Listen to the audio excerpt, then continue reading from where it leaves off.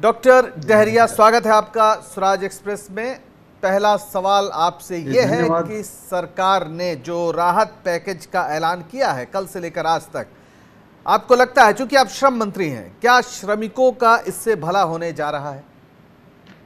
निश्चित रूप से जो हमारे हमारी सरकार जो है किसानों के लिए सबसे अच्छा काम कर रही है। सबसे पहले तो हम लोगों ने जब सरकार बनी तो किसानों का सारा कर्ज माफ़ किया गया। और हमारे प्रदेश में कोई सीमा निर्धारित नहीं की गई। सारे किसानों का जितना भी कर्ज था, छोटे किसान हो या बड़े किसान हो दस हज़ार हो या दस लाख रुपया, सारे किसानों का कर्ज माफ़ किया गया।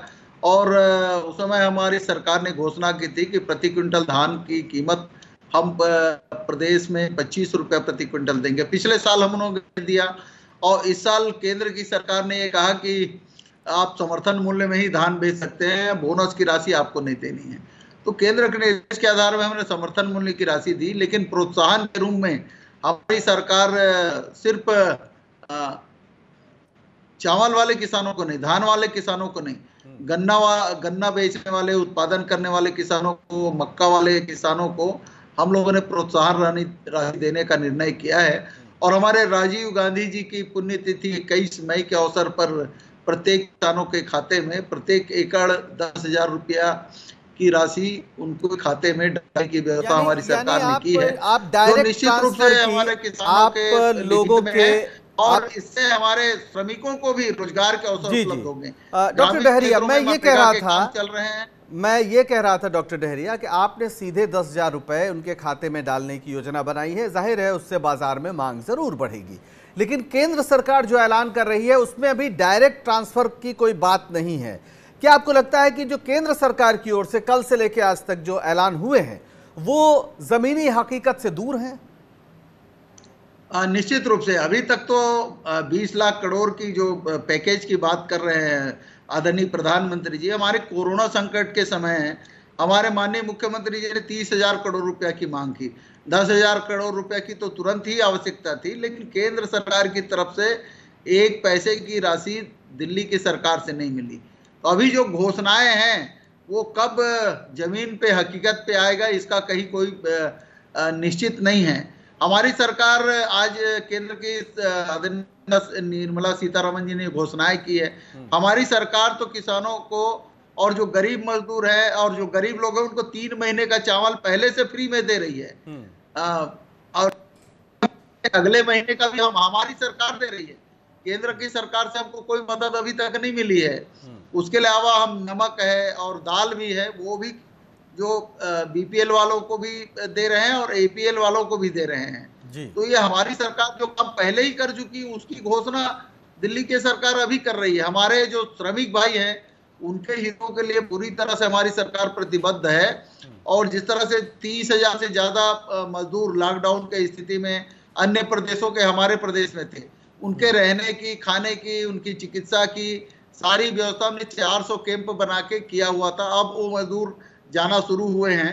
उसके अलावा हमारे प्रदेश के जो एक लाख अट्ठाईस हज़ार से ज़्यादा मजदूर अन्य प्रदेशों में थे, उनको उन प्रदेशों से संपर्क करके उनके खाने की व्यवस्था उनके चिकित्सा की व्यवस्था उन पर अन्य जो व्यवस्था है, वो भी हमारी राज्य सरकार ने की है। और अब आप देख लीजिए जो श्रमिकों के लिए ट्रेन आ रही है, उसकी सारी व्यवस्था हमारी छत्तीसगढ़ की सरकार कर रही है। अभी हम लोगों ने उनतीस ट्रेनों ट्रेनों का पंजीयन करा लिया, इक्कीस ट्रेनों की राशि राज्य शासन ने केंद्र सरकार को रेलवे को जमा भी करा दिया है छह ट्रेन आ गए हैं हम्म। और ट्रेन ट्रेन आने प्रारंभ हो गए हैं। तो जो श्रमिक हैं उनके लिए कोई राशि केंद्र की तरफ़ से नहीं मिली। हमारे मैं धन्यवाद देना चाहूँगा हमारे राष्ट्रीय अध्यक्ष सोनिया गांधी जी को। उनके उन्होंने कहा कि अगर कोई केंद्र पैसा नहीं देती तो कांग्रेस पार्टी जो है मजदूरों के टिकट के पैसे देगी। हम्म। उसके बाद केंद्र ने कहा कि पचासी पंद्रह के हिसाब से हम राशि देंगे। लेकिन उसके बाद भी कहीं कोई नहीं कोई हलचल नहीं हुई। उन लोगों ने एक भी पैसा केंद्र की तरफ़ से हमारे राज्य सरकार को मजदूरों के लिए प्राप्त नहीं हुआ।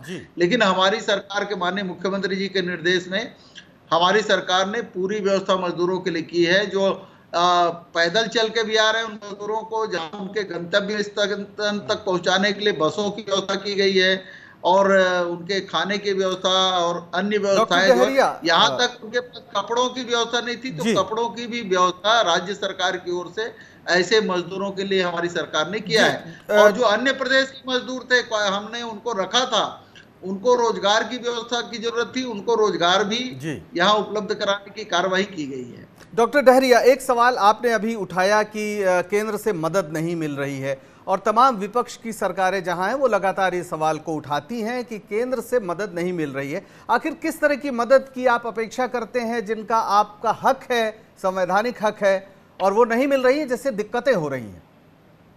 देखिए अभी जो हमारे श्रमिक हैं श्रमिक सिर्फ़ हमारी ज़िम्मेदारी नहीं है, केंद्र सरकार की ज़िम्मेदारी भी है। और ऐसे श्रमिकों को केंद्र की सरकार की तरफ़ से भी कुछ मदद मिलनी चाहिए। उनके जो अन्य प्रदेशों में है, उनके लिए कुछ खाने की व्यवस्था या चिकित्सा की व्यवस्था उन राज्यों को करनी चाहिए थी या केंद्र सरकार को करनी चाहिए थी। जो संवैधानिक अधिकार है मजदूरों का, वो तक केंद्र सरकार की ओर से उसमें कोई पहल नहीं की गई।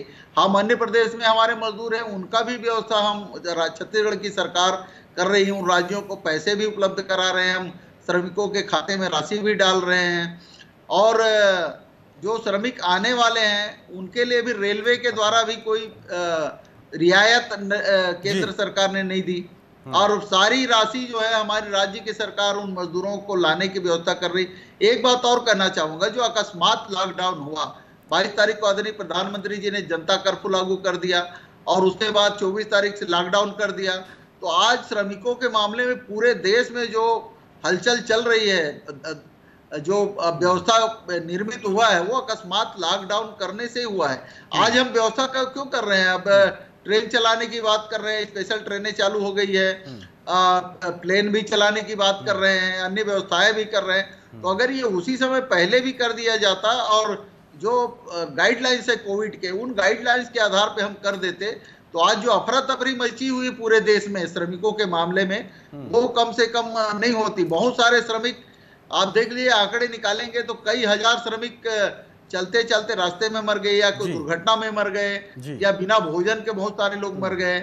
जो आंकड़े हैं वो तो बहुत सारे हैं लेकिन आंकड़ों से भी ज़्यादा ऐसे श्रमिक जो आज काल कलवित हुए हैं वो इस अकस्मात लॉकडाउन की स्थिति डॉक्टर डहरिया एक बड़ा महत्वपूर्ण सवाल है। कई राज्य सरकारों ने श्रम कानूनों में बदलाव किया है। आठ घंटे काम की जगह बारह घंटे काम की अनुमति दे दी है और ख़ास तौर पर बीजेपी सरकारों ने तो जो होता है ओवर टाइम उसको भी स्थगित कर दिया है कि ओवर टाइम देने की ज़रूरत नहीं है। सामान्य रूप से ही भुगतान होगा। आपके राज्य में, बतौर श्रम मंत्री, आपका क्या इस पर विचार है? क्या आपके यहाँ भी श्रम कानूनों में तब्दीली को लेकर कोई बात है?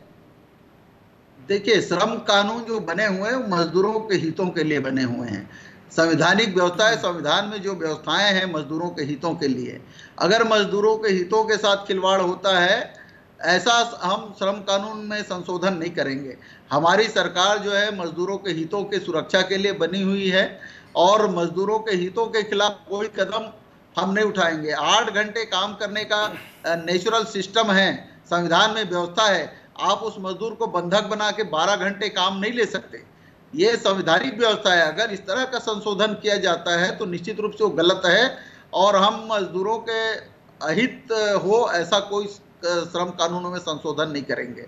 सेंट्रल एक्ट जो है, सेंट्रल एक्ट में भी संविधान के अनुरूप मजदूरों के लिए जो व्यवस्था होनी चाहिए वो व्यवस्था पहले से है और उसमें संशोधन किया जाता है तो सारे राज्यों को आ, आ, सारे राज्यों को पूछ कर किया जाना चाहिए और अकस्मात इस तरह के जो श्रम कानून में उसमें बदलाव लाकर सिर्फ़ जो बड़े लोग हैं फैक्ट्री वाले हैं या जो जहाँ मजदूर जिन मालिकों के पास काम करते हैं हम उनको लाभ पहुँचाने के लिए श्रम कानून में संशोधन नहीं करेंगे श्रम कानून में संशोधन जो होता है वो श्रमिकों के हितों के लिए होता है हम्म। उनको पीएफ की राशि मिले उनको वास्तविक मजदूरी मिले हम्म। और उनको काम के समय में जो सुविधाएँ मिलनी चाहिए हम्म। महिलाओं को जो सुविधाएँ मिलनी चाहिए वो सारी सुविधाएँ मिलनी चाहिए ये व्यवस्था संवैधानिक व्यवस्था है और इसीलिए श्रम कानून बनाए गए हैं।